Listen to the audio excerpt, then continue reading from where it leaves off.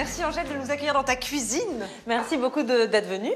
Nous avons cueilli des petites herbes, des orties pour faire des pancakes. Exactement. Alors on va expliquer quand même. Les pancakes, c'est toute une histoire pour toi parce qu'en fait, tu t'es fait connaître avec un service de traiteur bio et détox, surtout en revenant de San Francisco.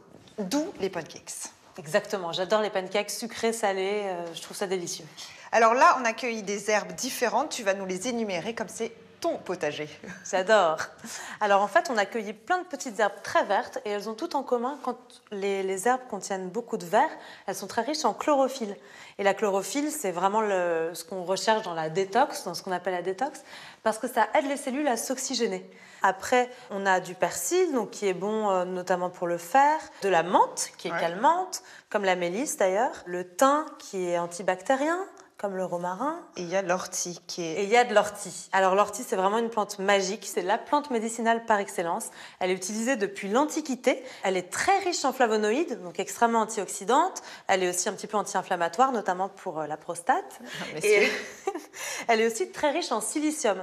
Donc le silicium, c'est ce qui nous permet d'avoir des beaux cheveux, Ah. des beaux ongles, euh, des longs poils.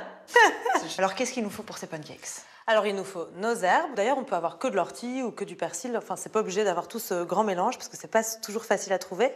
Deux œufs, de la farine. Donc moi, j'ai utilisé un mélange de farine sans gluten, euh, un petit peu de levure, du sel et du lait. Très bien. Alors on va rincer nos petites plantes. Parfait.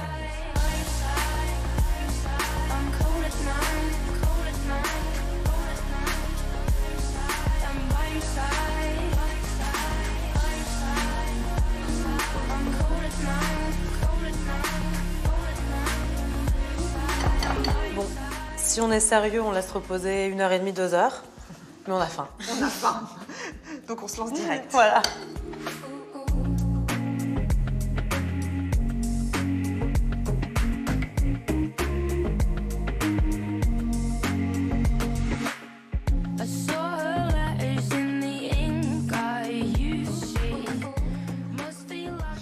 On sent encore les aromates.